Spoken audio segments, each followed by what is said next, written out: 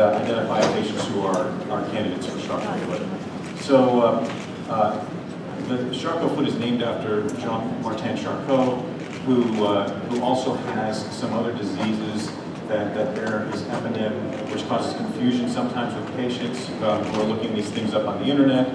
But uh, it's, what I want to point out is in the first paper that he wrote in 1868, uh, this was on tabetic arthropathies, at the very end, he, and you know, we're in Canada, some of you speak French, but at the very end he wrote Sera Continue, which is to be continued in French because he said we, we still have a lot to learn about this condition. Now I'll tell you, it's, it's uh, you know, almost 160 years later, and we still have a lot to learn uh, about the Charcot foot.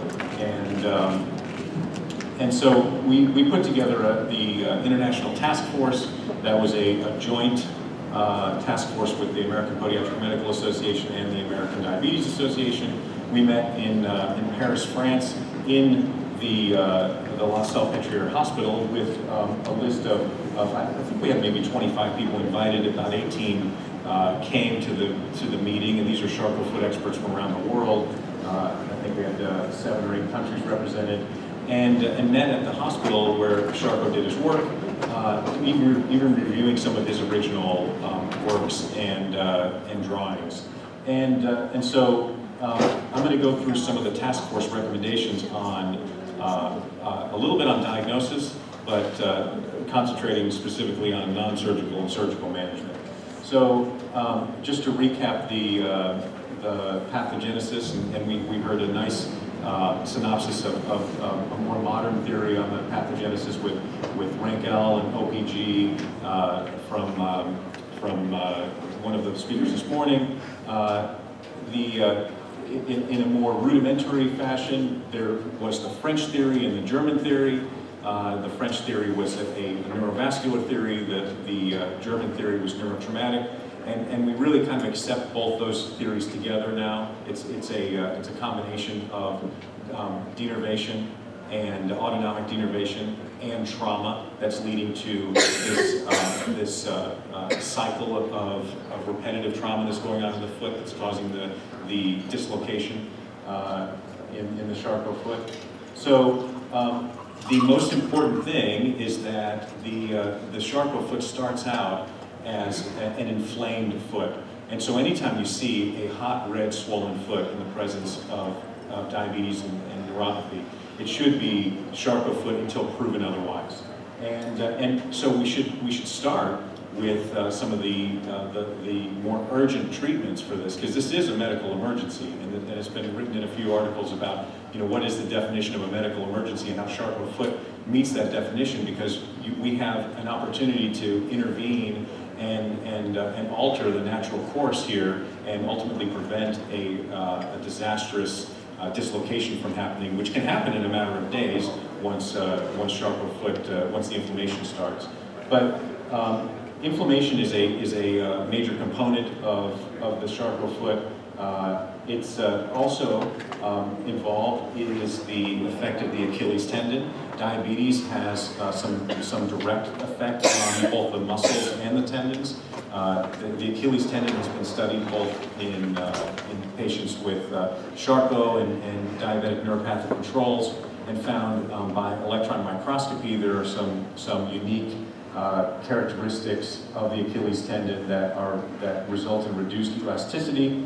Uh, and, uh, and you can see here in this x-ray that uh, the heel isn't even touching the ground. What we have is, a, is um, the, the, forefoot and the midfoot uh, with a lot of pressure, and, uh, and, and, and that's leading to the dislocation at the, at the midfoot, which is the most common location and the most common site of dislocation.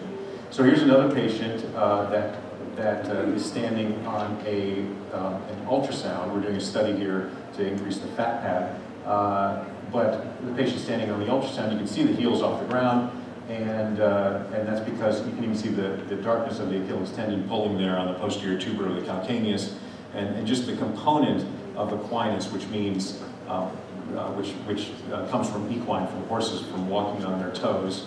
Uh, and that's, and that component of a tight Achilles tendon has to be addressed in, in any type of management of the Charcot foot. So we've studied these people, um, and this is back when, when Dr. Najafi was at, uh, was in uh, Chicago and had the gait lab, and uh, we, we studied these people in the, in the gait lab to do dynamic peak plantar pressures, and, uh, and you can see um, how, how much pressure, this is in the midfoot actually, it looks kind of like the heel, but it's only because the heel's not touching the ground, but how much pressure is, uh, is in the midfoot where, where it's not supposed to be. And that, that's what leads to these, uh, these ulcerations. So I mentioned about thermometry for uh, the detection of, of risk for diabetic foot ulcers, but we also use thermometry and thermography to um, diagnose Charcot foot and compare temperatures between the two feet, and also to track whether or not uh, what we're doing is working. Uh, this is one of the earlier thermal imagers that we had. I, I remember we got this, it was about uh, a $15,000 grant uh, now you can buy one for about $250, uh, made by the same companies, Fluke and FLIR. Uh, they attach to your iPhone or your Android, and you can take a picture with your phone, and you get these beautiful pictures uh, of, of feet that are that are thermographic images. This is the this is one of the first things I did with it. I always, you know, when I get a new new toy, a new medical toy, I always take it home and I either practice on my kids or on you know something else at home. So I take this thing home, take it in the basement, shut off all the lights, it takes two images at the same time, a visual image and an infrared image. This is the visual image, there's no lights on, so, but it marks the hottest thing in the room, and uh, which happens to be the eyeball of my cat, you know, at 95.5 degrees. But when we look at feet, uh, we can see um, a, a, big difference in the temperature between feet with, a, with an active Charcot foot. So uh, um, this is a 10 degree difference here, 89 uh, degrees to 79 degrees. And, uh, and we want to see when we have normalization of temperatures uh, to help patients uh, return back to um, protected footwear uh, at that point. Um, we're also using this to, to see whether cryotherapy is working. Um, you know, there's a lot of, of potential new targets for Charcot foot, uh, one of which might be um, uh, TNF alpha inhibitors, which is a small study being done looking at, since this is such an inflammatory um, disease and the RANKL OPG pathway is part of the T, TNF uh, is, is, a TNF molecule. TNF alpha inhibitors may um, help here, but just looking at good old-fashioned cryotherapy, um, we're using CryoCuff, which is just a, like a, a, a bladder that's filled with ice water, uh, but the foot doesn't contact the water. It only gets put into the into the the, uh, the bladder, and and cooling the foot down, and maybe just maybe just cryotherapy is going to make a difference. Uh, we're not really sure how frequent to do this. Uh, right now we're doing it three times a day, 30 minutes. Uh, you don't want to do, do it too much because you can, uh, you actually will get um, a, uh, a, rebound effect if you, uh, if you cool too much. Um, the, so now the treatments for Charcot foot really can be broken down into medical or surgical. On the medical side, um, we, we also break the Charcot foot into um, two categories. Uh, we don't, we, the, the, international consensus recommended not using the terms acute and chronic any longer. You may hear people say, oh, somebody's got an acute Charcot foot or a chronic Charcot foot. The problem is both of those terms refer to time, and there's no definitive point at which somebody has an acute Charcot foot that then becomes a chronic Charcot foot. Uh, but also, you can have a chronic Charcot foot and then get inflamed again and have an acute on chronic episode, and it makes things very confusing. And so what the international consensus recommended was to just say that it's either, um, it's either active or inactive. If it's active, it's actively inflamed, you see an increase in temperature, that helps you decide what to do. If it's inactive, then there's no increase in temperature and, and we can move to the more preventative phase. So in the active phase, we're looking at um, offloading, sometimes bisphosphonates. I'll show you a study that, that, that, that actually um, suggest not to use bisphosphonates. Uh, intranasal calcitonin, bone stimulators have been studied, but there's not good data on that. And then inactive, um, we, are looking at mostly accommodated footwear. On the surgical side, either exostectomy or reconstruction. Uh, on the offloading, total contact cast versus removable cast walker, uh, I'll just give you my personal opinion. Uh, you know, 90% of the problem with a removable cast walker is in a third of its name. It's removable, and uh, so it's uh, you know it, it, tends to lead to uh, patients not uh, um, uh, being as compliant. So when we look at the data on this, uh, and this is what I want to point out, is um, that when patients are casted, uh, look at how long somebody had to be casted until their foot was quiescent. 18 plus or minus 10 weeks. And I think that we do our patients and ourselves a disservice when somebody comes in and, um, and we think about this as a fracture or a dislocation, something more simple and somebody without complications, and you say, uh, okay, well, you're going to be in this cast for six or eight weeks. Well, that's very unrealistic based on, on all of these studies, which show that it's almost half of a year that patients are being treated with a cast in order to, to correct their Charcot foot, uh, to, to bring it from, a, from an active to an inactive phase. So we need to be upfront with them, and, uh, and that'll help to you know, smooth things along as, as uh, and, and you know, hopefully make them less angry with you when you, when you measure their temperatures again and say that you still stay in the cast. Uh, I want to point this out. Uh, Dr. Latham had talked about how uh, it was, uh, you know, he, he, did things the conservative way for a while and then the surgical way and, and had, had a lot of complications in both arms. Uh, well, when you, know, if you look at conservative management, and I, and I don't really like that term uh, anyway when we talk about the Charcot foot because it's a, this is a devastating uh, complication of diabetes that can lead to an amputation and frequently does lead to an amputation. There should be no conservative management of a, of a, uh, a disease like that. Now, maybe that's just the, the use of the term because um, I believe in using total contact cast and other things, so maybe surgical versus non-surgical would be better, better way to phrase it. But in the non-surgical management of the Charcot foot, even, even non-surgically, 30% of them developed a contralateral Charcot or recurrence or a new ipsilateral attack. 31% uh, developed a foot ulcer in this study. So even when you're trying to do things as, as uh, you know, um, as, as carefully as possible uh, without surgery, you're still have a lot of complications. So that needs to be thought about when you're, when you're thinking about surgery uh, in, uh, in whether, um, you know, in, in, uh, in, in, weighing the risks and benefits of surgery. Um, because the risks, there are, are, risks of not doing surgery as well, as I, as I just pointed out. Uh, so in, a, in the largest Charcot foot audit, which was done, the CD-UK study, uh, 288 Charcot foot patients, 36% recalled some type of trauma, 12% the trauma was actually a surgery they had on their index limb within the past six months. So the surgery itself, whether it's a bunion or something like that, actually caused the inflammation which led to the Charcot.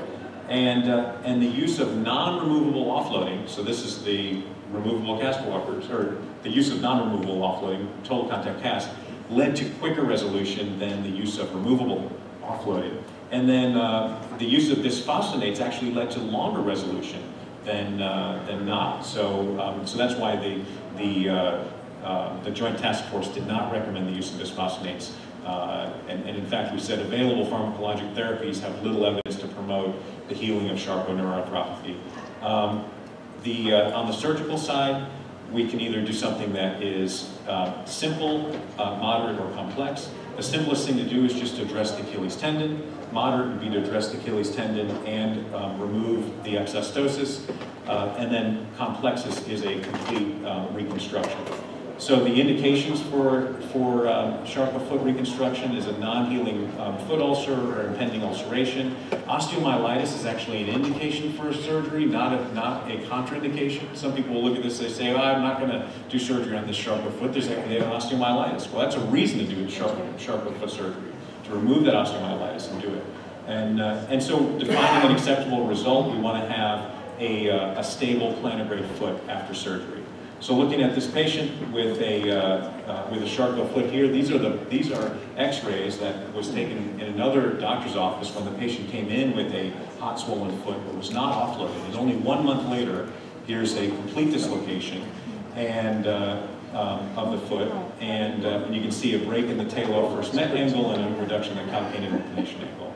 So addressing the Achilles tendon, um, removing the bone, I, I, we saw a, uh, here's a a nice, um, well, this is isolating the neurovascular uh, uh, soft tissue structures on the dorsum and on the uh, plantar side, removing a wedge of bone, and you can see just, just uh, how much bone has to be removed to get back to healthy bleeding bone.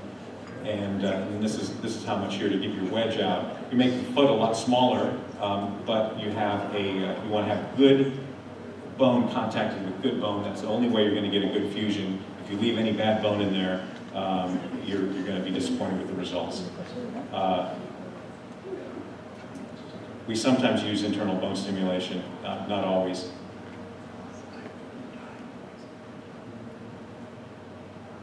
And then uh, do um, intraoperative x-rays, see that we're, we're correcting the angles. We, a lot of times we're using external fixation.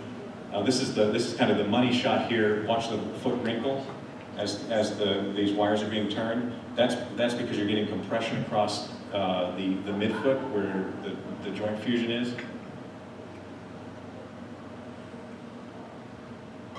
So uh, last slide is the um, this is something that I did with with Bijan as well. Does this really work? Same patient, preoperative on the uh, on the left, postoperative on the right. Um, this is this is six months after the operation.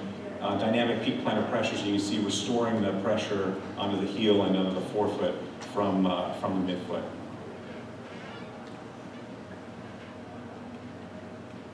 So thank you very much.